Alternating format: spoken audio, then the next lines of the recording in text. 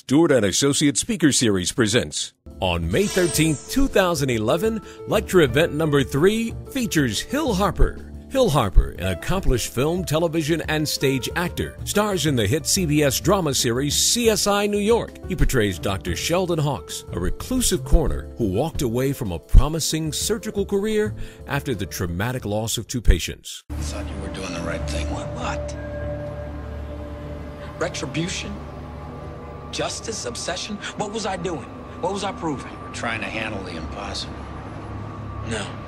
I was trying to avoid it.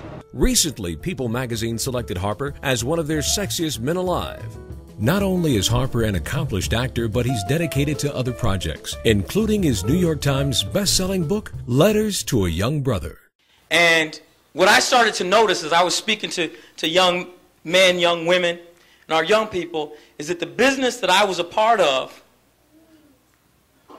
was effectively destroying the self-esteem of our youth. It all is a, is a journey in the process, and there's not one point where each piece relates to the to the next. It wasn't just okay, social responsibility. I need to do this because I'm this. Hill Harper at the Madam Walker Theater Center, 617 Indiana Avenue.